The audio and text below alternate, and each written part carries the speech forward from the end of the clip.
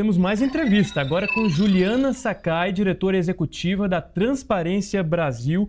Juliana Sakai, que tem ali um, uma atuação bastante focada no orçamento secreto. A Transparência Brasil age ali, né, juntamente ao Supremo Tribunal Federal, de olho no orçamento secreto, de olho nesses desdobramentos. E é exatamente com esse assunto que eu começo, mas antes quero dar bom dia e agradecer pela sua presença, Juliana. Bom dia, Murilo. Eu que agradeço o convite, é uma honra estar aqui com vocês. Juliana, a gente teve um novo desdobramento né, do ministro Flávio Dino sobre o orçamento secreto. Eu queria que você trouxesse aqui para a gente como que está a evolução do fim do orçamento secreto devido a essa decisão do Supremo Tribunal Federal. Pois é, né? A gente acho que é interessante a gente recuperar, né, que no final de 2022, em dezembro, o STF, ainda com a ministra Rosa Weber, decidiu pela inconstitucionalidade do orçamento secreto. Né? Nesse momento, é, é, a ação que é movida pelo PSOL né, conseguiu é, mostrar que era inconstitucional e que deveria ser proibido. Mas aí o que, que acontece? A gente, em 2023, tem a PEC da transição. E o que, que a, gente, que a gente passa a, a ver? Que ao invés de é, chamar de orçamento secreto as antigas RP9, a gente tem agora outras formas de, de, de emendas né, que é, fazem o mesmo papel. Né? Na PEC da transição, especificamente, o que, que a gente teve? 9,85 bilhões de reais que viraram prerrogativa do relator geral do orçamento para distribuir. Esse dinheiro né, deveria ser do governo, totalmente do governo, mas na prática ele acabou servindo para continuar as, é, as, distribuições, a troca política ali com o Congresso. Então, assim, é, vários, né, saíram várias reportagens a respeito de como esse dinheiro né, é, saíram do, dos cofres do Executivo para é, é, é, ser distribuídos entre o Ministério da Saúde, cidades, desenvolvimento social, regional, agricultura, esportes, educação, mas foi apadrinhado por deputados e senadores. Né? E, mais uma vez, sem transparência.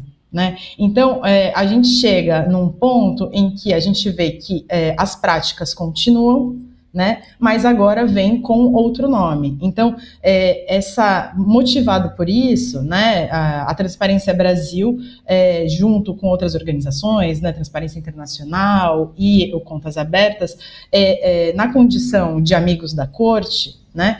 É, a gente é, entrou com uma petição denunciando essa prática e essa continuidade.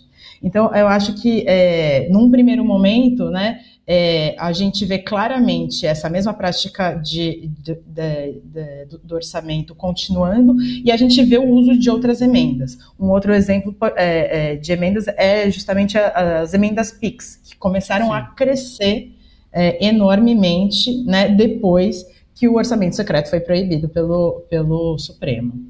Então, Juliana, para que a gente entenda, o Supremo Tribunal Federal declarou inconstitucional o orçamento secreto.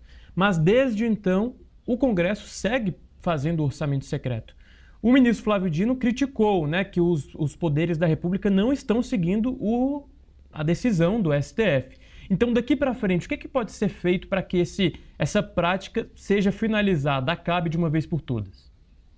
Então, o ministro Flávio Dino determinou que em agosto seja feita uma audiência de conciliação. Né? Então, assim, é, haverá uma conversa entre as partes ali. É, e é, a gente vai ter Câmara, Senado também para se posicionar com relação a isso. Né? É, a, é, a gente ficou contente de ver que o, o ministro realmente afirmou que é, não foi provado que o orçamento secreto acabou. Então, quer dizer, a nossa, a, a nossa denúncia foi tomada em consideração. Né? Então, a partir disso, né, a gente espera que dentro dessa audiência de conciliação, né, é, é, seja dada mais clareza sobre como esse espólio, esse resto desse, desse orçamento que está é, sendo ainda distribuído entre os ministérios e está sendo apadrinhado por é, deputados e senadores sem transparência, que isso cesse. Né?